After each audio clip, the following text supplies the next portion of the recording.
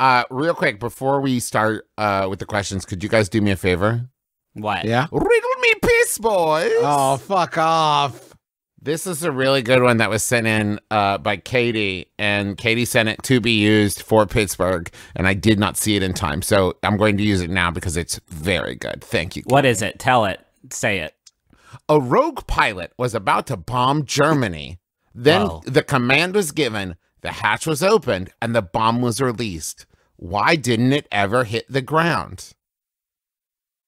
Because One more time, please. Wait, one more time, please. yeah. One more A rogue please. pilot was about to bomb Germany. The command was given, the hatch was opened, and the bomb was released. Why didn't it ever hit the ground? It landed in water. Justin, do you have a guess? That was going to be mine that it landed in You water. dumb shit. All right. The plane was flying upside down.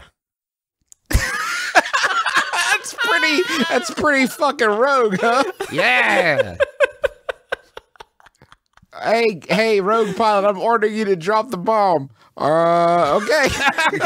I mean, it's probably a bad call, but I'm Should a I- rogue. I don't know what to say. Am I just supposed to bowl it gently off the side of my plane, or what's? I what's, forget. what's the play here? Are you upside down again, Derek? Uh, Now, do you Hold want- on, I'm, blacking out for normal reasons. One sec. Did you mean Earth Germany or Moon Germany? Yeah. What do you mean Moon Germany? What's Moon Germany? Uh, don't worry about it. Bombs away. Derek? Derek. Ah.